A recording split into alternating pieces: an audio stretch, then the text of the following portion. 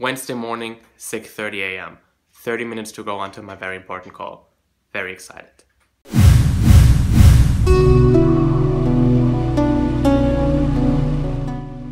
Five more minutes to go. Still excited.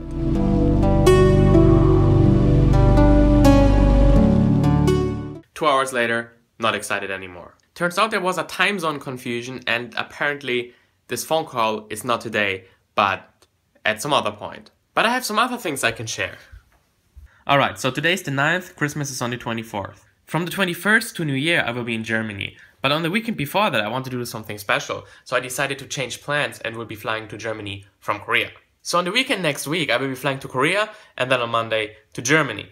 And of course, I will try to vlog everything about this because it is still Vlogmas, right? Alright, let's go to work. Turns out today is actually a pretty busy day.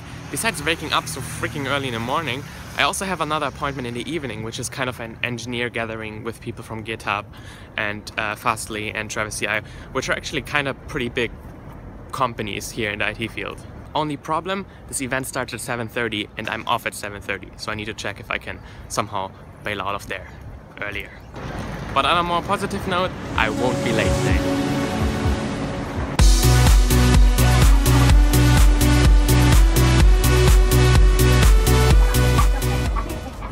Alright, so I'm going to cut it here because I don't want to use the same footage every day, so I see you in 8 hours. Alright, work is done, and now to Shibuya.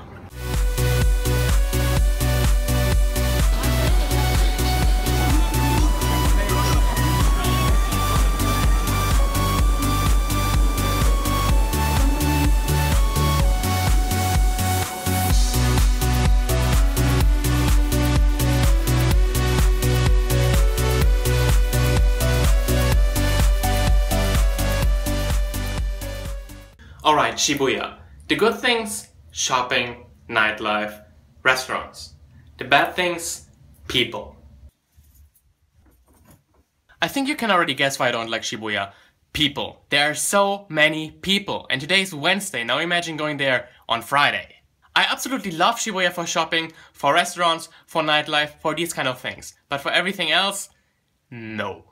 Okay, Shibuya aside, the meetup was very good. It was very fun, it was very informative, talked to a lot of people, stole a lot of stickers, like this one, or this one, or this one, or a bunch more of these. Only one small problem.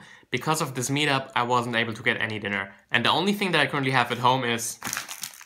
this.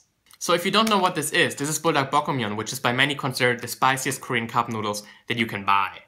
Don't believe me? Search on YouTube. There are even challenges of people trying to eat this. So should this really be my dinner?